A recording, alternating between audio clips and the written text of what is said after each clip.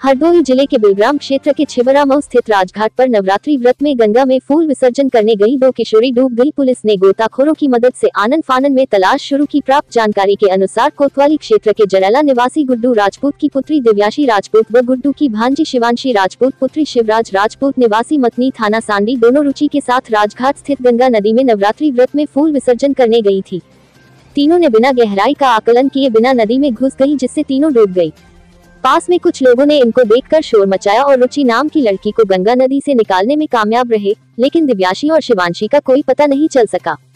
आनंद फानन में वहाँ भीड़ इकट्ठा हो गई और पुलिस को सूचना दी गई। खबर मिलते ही प्रभारी निरीक्षक उमाकांत दीपक फोर्स के साथ राजघाट पहुंचकर स्थानीय लोगों व गोताखोरों के साथ सर्च अभियान शुरू कर दिया।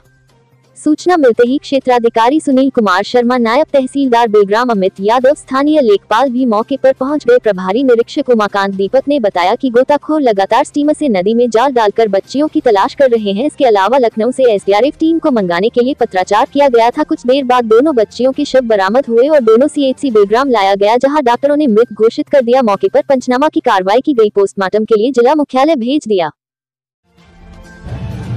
क्या नाम है आपका? पृथ्वीराज। कहाँ रहते हो? कर्णपुर मतनी ये हादसा हुआ कैसे हुआ? ये फूल बहाने जाते थे। और बाढ़ के चक्कर में पैर फिसल गया उनका डूब गए। उससे ओ। मृत्यु हो गई।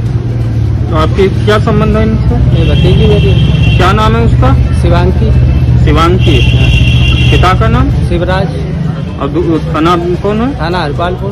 थाना हरपालपुर। दूसरी दूसरी कौन है आपकी? तो साले की लड़की। उसका क्या नाम है? दिवांग दिवांशी। दिवा- दिव्यांग दिव्या। पिता का नाम क्या है? गुड्डू वो कहाँ की निवासी है? जरैला कटरी। ये हादसा कहाँ हुआ है? और जरेला कटरी में।